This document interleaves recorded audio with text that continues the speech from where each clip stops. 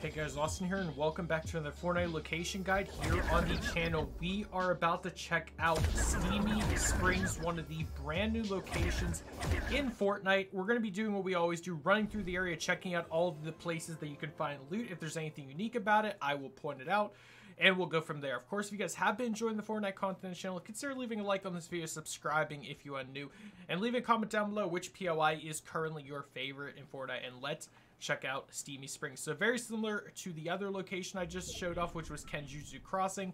Um, it is very Japanese themed. I love the cherry blossom tree so much. The the bamboo stalks, everything looks so cool. And of course, we have one of these low capture objectives at this spot of Steamy Springs. Of course, the doors are all the um, traditional Japanese paper doors. I think that's how you call them.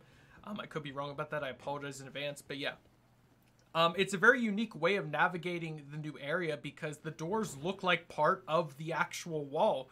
So people that aren't familiar are going to have a trouble getting that. Of course, the bounty board location is right there. Let's head up here, check out what's up here.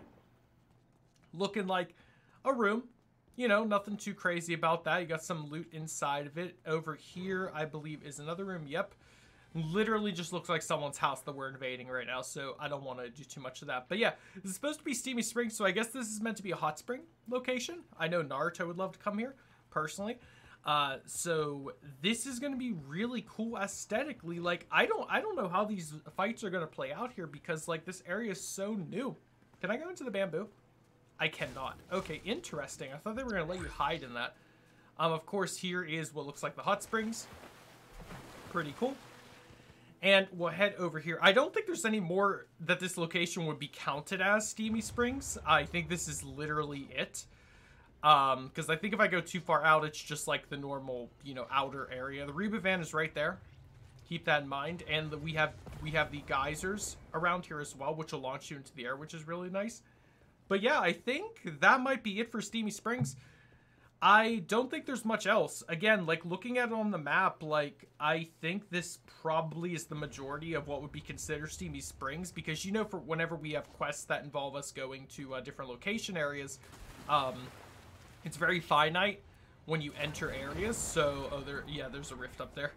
So I don't think anything else would be considered Steamy Springs. So we're going to end off the video here. I hope it was helpful to you all. If you guys like this location and enjoyed my commentary, consider leaving a like on the video, subscribing if you do. Leave a comment down below what your favorite part about this area is, or if you like any other POI more. And specifically, I'm noticing the kinetic blade does not spawn here. It spawned in Kenjutsu Crossing. I think that might be the only place it spawns. We'll have to see. Either way, hope to see you all next video. Have a great day, everyone. Stay safe. Goodbye.